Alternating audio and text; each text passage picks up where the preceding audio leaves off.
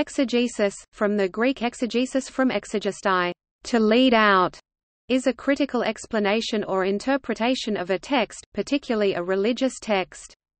Traditionally the term was used primarily for work with the Bible, however, in modern usage, biblical exegesis is used for greater specificity to distinguish it from any other broader critical text explanation.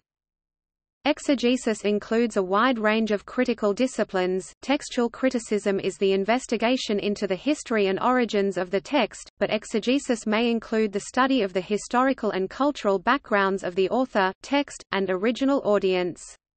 Other analyses include classification of the type of literary genres presented in the text and analysis of grammatical and syntactical features in the text itself. The terms exegesis and hermeneutics have been used interchangeably.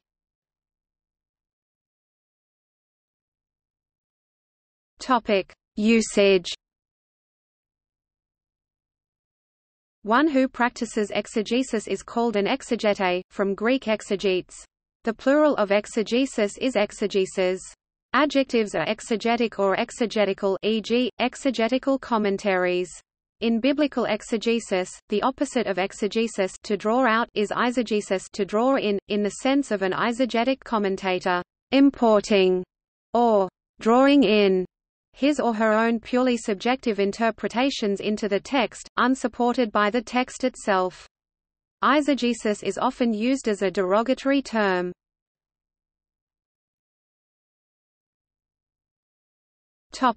Mesopotamian commentaries The earliest examples, and also one of the largest corpora of text commentaries from the ancient world, come from Mesopotamia modern Iraq in the first millennium BCE known from over 860 manuscripts, the majority of which date to the period 700 to 100 BCE. Most of these commentaries explore numerous types of texts, including literary works such as the Babylonian Epic of Creation, medical treatises, magical texts, ancient dictionaries, and law collections, the Code of Hammurabi. Most of them, however, comment on divination treatises, in particular treatises that predict the future from the appearance and movement of celestial bodies on the one hand Enuma Anu Enlil, and from the appearance of a sacrificed sheep's liver on the other Barutu. As with the majority of the thousands of texts from the ancient Near East that have survived to the present day, Mesopotamian text commentaries are written on clay tablets in cuneiform script. Text commentaries are written in the East Semitic language of Akkadian, but due to the influence of lexical lists written in Sumerian language on cuneiform scholarship, they often contain Sumerian words or phrases as well. Cuneiform commentaries are important because they provide information about Mesopotamian languages and culture that are not available elsewhere in the cuneiform record. To give but one example, the pronunciation of the cryptically written name of Gilgamesh, the hero of the Epic of Gilgamesh, was discovered in a cuneiform commentary on a medical text. However, the significance of cuneiform commentaries extends beyond the light they shed on specific details of Mesopotamian civilization. They open a window onto what the concerns of the Mesopotamian literate elite were when they read some of the most widely studied texts in the Mesopotamian intellectual tradition, a perspective that is important for seeing things their way. Finally, cuneiform commentaries are also the earliest examples of textual interpretation. It has been repeatedly argued that they influenced rabbinical exegesis. See Akkadian commentaries and early Hebrew exegesis, the publication and interpretation of these texts began in the mid-19th century, with the discovery of the Royal Assyrian Libraries at Nineveh, from which ca. 454 text commentaries have been recovered. The study of cuneiform commentaries is, however, far from complete. It is the subject of ongoing research by the small, international community of scholars who specialize in the field of Assyriology.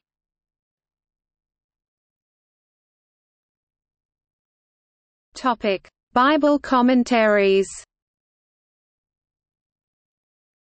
A common published form of biblical exegesis is known as a Bible commentary and typically takes the form of a set of books, each of which is devoted to the exposition of one or two books of the Bible. Long books or those that contain much material either for theological or historical critical speculation, such as Genesis or Psalms, may be split over two or three volumes. Some, such as the Four Gospels, may be multiple or single volume, while short books such as the deuterocanonical portions of Daniel, Esther, and Jeremiah i.e. Book of Susanna, Prayer of Azariah, Bel and the Dragon, additions to Esther, Baruch and the Epistle of Jeremiah, or the pastoral or Johannine epistles are often condensed into one volume. The form of each book may be identical or allow for variations in methodology between the many authors who collaborate to write a full commentary. Each book's commentary generally consists of a background and introductory section, followed by detailed commentary of the book pericope by pericope or verse by verse. Before the 20th century, a commentary would be written by a sole author, but today a publishing board will commission a team of scholars to write a commentary, with each volume being divided out among them.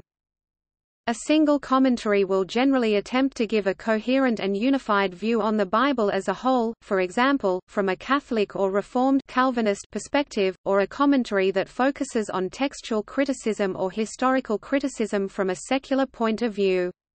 However, each volume will inevitably lean toward the personal emphasis of its author, and within any commentaries there may be great variety in the depth, accuracy, and critical or theological strength of each volume.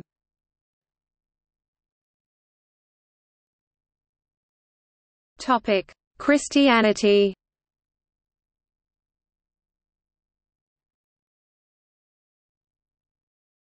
Topic: Views. The main Christian exegetical methods are historical grammatical, historical criticism, revealed, and rational. The historical grammatical method is a Christian hermeneutical method that strives to discover the biblical author's original intended meaning in the text. It is the primary method of interpretation for many conservative Protestant exegetes who reject the historical critical method to various degrees from the complete rejection of historical criticism of some fundamentalist Protestants to the moderated acceptance of it in the Catholic Church since Pope Pius XII, in contrast to the overwhelming reliance on historical critical interpretation, often to the exclusion of all other hermeneutics, in liberal Christianity. Historical criticism also known as the historical critical method or higher criticism, is a branch of literary criticism that investigates the origins of ancient texts in order to understand the world behind the text. This is done to discover the text's primitive or original meaning in its original historical context and its literal sense. Revealed exegesis considers that the Holy Spirit inspired the authors of the scriptural texts, and so the words of those texts convey a divine revelation. In this view of exegesis, the principle of sensus plenior applies that because of its divine authorship, the Bible has a fuller meaning than its human authors intended or could have foreseen. Rational exegesis bases its operation on the idea that the authors have their own inspiration in this sense, synonymous with artistic inspiration, so their works are completely and utterly a product of the social environment and human intelligence of their authors.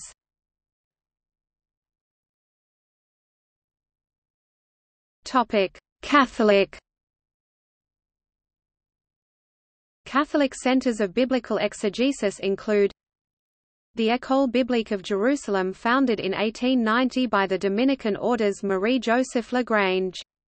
The school became embroiled in the modernist crisis, and had to curtail its New Testament activities until after Vatican II. The Pontifical Biblical Institute of Rome, a division of the Jesuit Gregorian University, has influenced Catholic exegesis through teaching and through the Pontifical Biblical Commission. Topic: Protestant. For more than a century, German universities such as Tübingen have had reputations as centers of exegesis. In the USA, the divinity schools of Chicago, Harvard, and Yale became famous. Robert A. Traina's book Methodical Bible Study is an example of Protestant Christian exegesis.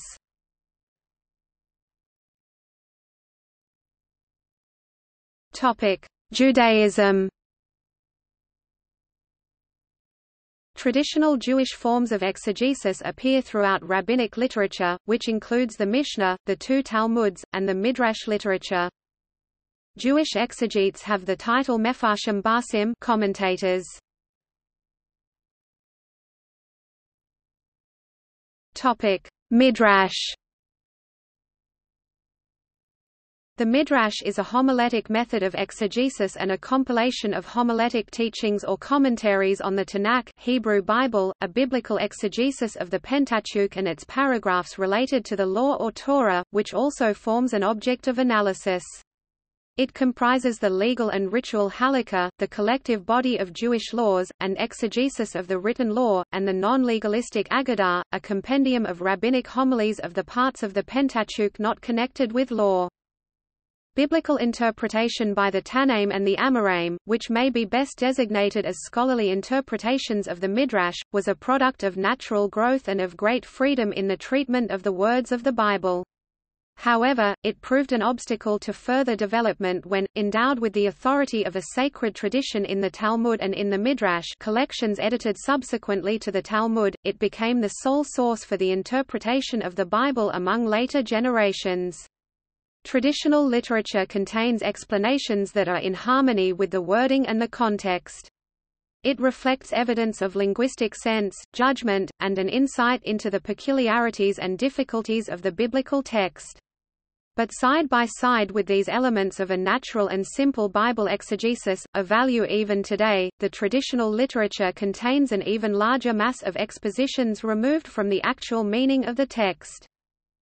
Halakha and Agadahan the Halakhic as well as in the Haggadic exegesis the expounder endeavored not so much to seek the original meaning of the text as to find authority in some Bible passage for concepts and ideas, rules of conduct and teachings, for which he wished to have a biblical foundation.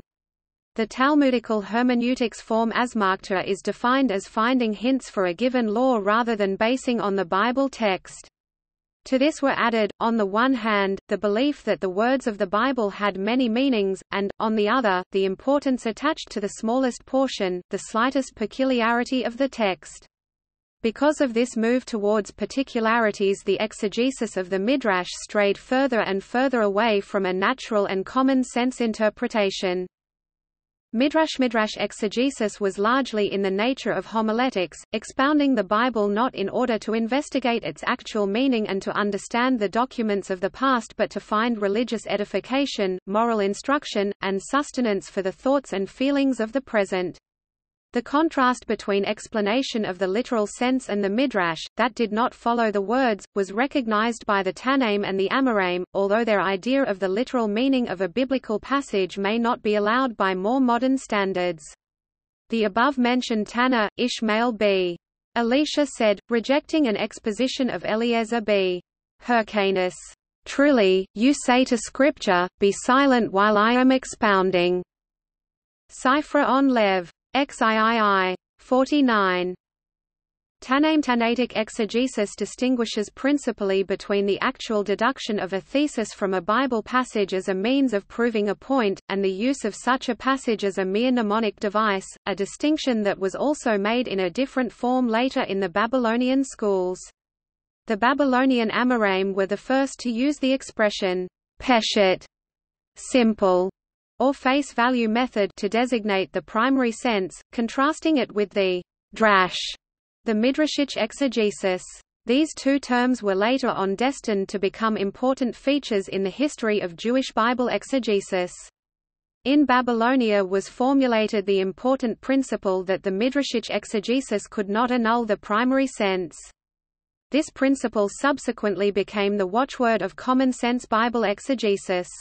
How little it was known or recognized may be seen from the admission of Kahana, a Babylonian Amora of the 4th century, that while at 18 years of age he had already learned the whole Mishnah, he had only heard of that principle a great many years later Shab 63a.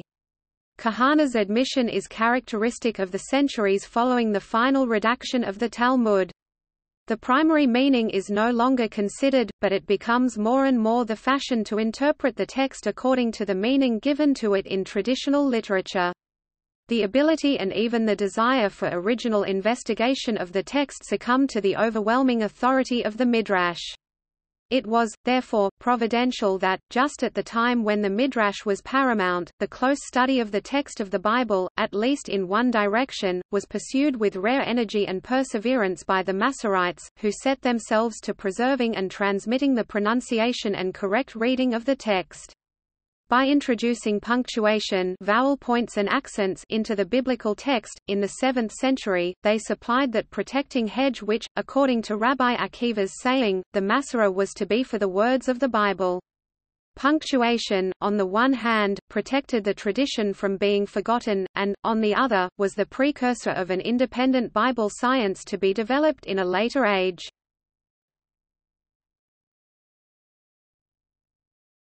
Topic. Mikra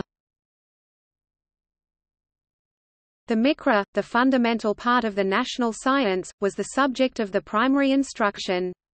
It was also divided into the three historic groups of the books of the Bible, the Pentateuch, the Prophets, and the Hagiographa, called in traditional Hebrew attribution the Torah the law or teaching, the Nevi'im the prophets and the Ketuvim the writings respectively. The intelligent reading and comprehension of the text, arrived at by a correct division of the sentences and words, formed the course of instruction in the Bible. The scribes were also required to know the Targum, the Aramaic translation of the text. The Targum made possible an immediate comprehension of the text, but was continuously influenced by the exegesis taught in the schools. The synagogues were preeminently the centers for instruction in the Bible and its exegesis. The reading of the biblical text, which was combined with that of the Targum, served to widen the knowledge of the scholars learned in the first division of the national science. The scribes found the material for their discourses, which formed a part of the synagogue service, in the second division of the several branches of the tradition. The Haggadah, the third of these branches, was the source material for the sermon. Jewish exegesis did not finish with the redaction of the Talmud, but continued during ancient times, the Middle Ages and the Renaissance. It remains a subject of study today.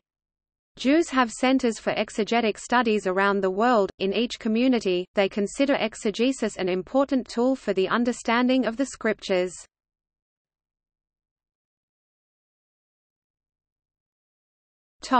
Indian philosophy. The Mimamsa school of Indian philosophy, also known as Purva Mimamsa prior inquiry, also Karma Mimamsa, in contrast to Uttara Mimamsa posterior inquiry, also Brahma Mimamsa, is strongly concerned with textual exegesis, and consequently gave rise to the study of philology and the philosophy of language. Its notion of shabda speech as indivisible unity of sound and meaning signifier and signified is due to Bhartrhari 7th century.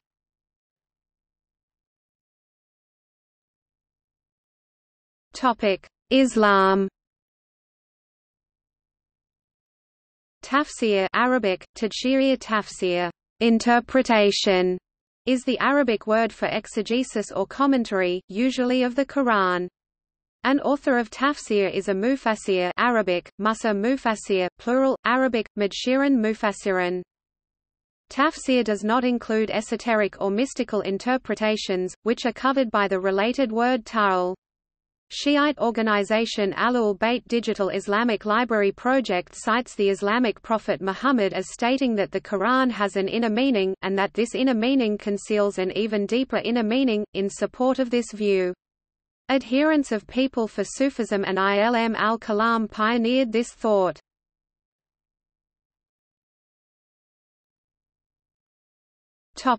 Zoroastrianism Zoroastrian exegesis consists basically of the interpretation of the Avesta. However, the closest equivalent Iranian concept, Zand, generally includes Pahlavi texts which were believed to derive from commentaries upon Avestan scripture, but whose extant form contains no Avestan passages. Zoroastrian exegesis differs from similar phenomena in many other religions in that it developed as part of a religious tradition which made little or no use of writing until well into the Sasanian era. This lengthy period of oral transmission has clearly helped to give the Middle Persian Zand its characteristic shape and has, in a sense, limited its scope. Although the later tradition makes a formal distinction between Gathic Garnig, legal Dadig, and perhaps ritual Hadag Mansrig Avestan texts, there appear to be no significant differences in approach between the Pahlavi commentary on the Gathas and those on Dadig texts, such as the Vendidad, the Herbadistan and the Neringastan. Since many 19th and 20th century works by Zoroastrians contain an element of exegesis, while on the other hand no exegetical literature in the strict sense of the word can be said to exist, the phenomenon of modern Zoroastrian exegesis as such will be discussed here, without detailed reference to individual texts.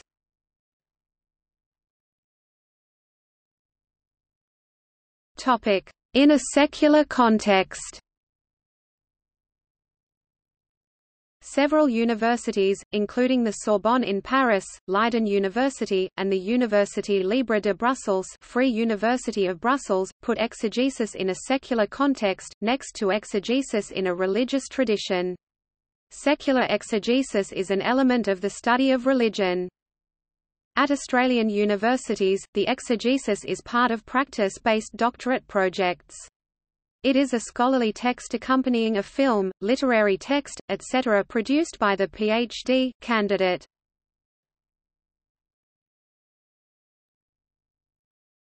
Topic. See also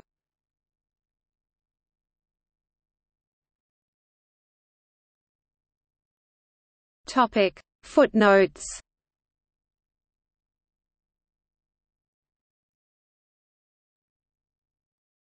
Topic: External links. Media related to exegesis at Wikimedia Commons. Biblical Interpretation and Application Reading Room, extensive bibliography for biblical exegesis provided by Tyndale Seminary. Jewish Encyclopedia. Com. Cuneiform Commentaries Project